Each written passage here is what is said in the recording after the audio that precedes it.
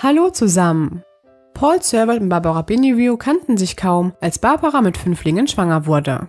Das frisch verliebte Paar bereitete alles für die große Geburt vor, doch einer von beiden wusste bereits, dass sie das Krankenhaus nicht mit fünf Kindern verlassen würden.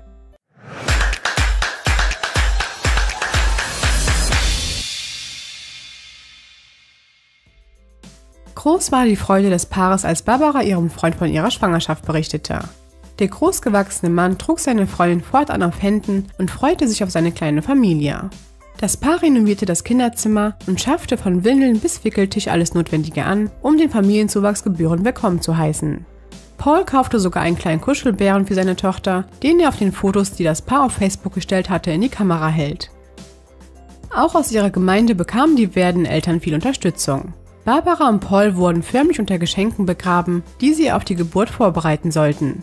Schließlich kannten sich die beiden zu diesem Zeitpunkt gerade einmal wenige Monate und nun standen sie kurz davor, eine kleine Familie zu gründen.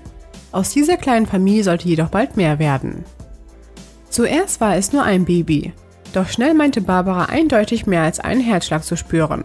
Sie ging zu ihrem Hausarzt, der sie erneut abhört und überraschend feststellte, in Barbaras Bauch wachsen Fünflinge heran. Zwar änderte Barbara ihre Geschichte immer wieder, doch Paul kam es zu diesem Zeitpunkt noch nicht seltsam vor. Er dachte, die Hormone würden mit seiner Freundin durchgehen und machte sich keine weiteren Gedanken um die Unstimmigkeiten, die in Barbaras Schilderungen auftraten. Nur bei einem schien sie sich sicher zu sein. Sie würden Fünflinge bekommen. So zumindest die Geschichte, die Barbara im Jahr 2014 ihrem Freund erzählte. Doch Paul sollte bald die schreckliche Wahrheit erfahren. Fast zehn Monate gab sie vor, schwanger zu sein. Was Paul nicht wusste, dieselbe Situation hatte sich bereits zwischen Barbara und ihrem Ex-Freund zugetragen. Während damals andere Umstände die Situation aufklärten, musste Paul bis zum Geburtstermin warten, um die Wahrheit zu erfahren. Barbara war nie schwanger. Sie redete sich eine Schwangerschaft ein und das so überzeugend, dass sogar die körperlichen Symptome einer Schwangerschaft auftraten. Das belegen auch die Krankenhausakten. Die Dokumente des Krankenhauses erklären schwarz auf weiß, dass Barbara niemals schwanger war. Stattdessen leidet die junge Frau an einer eingebildeten Schwangerschaft. Dabei treten körperliche Symptome wie ein wachsender Bauchumfang und Milchbildung in den Brüsten auf. Nur der Embryo fehlte. Dass sie von ihrer Scheinschwangerschaft wusste, belegen die Arztbesucher.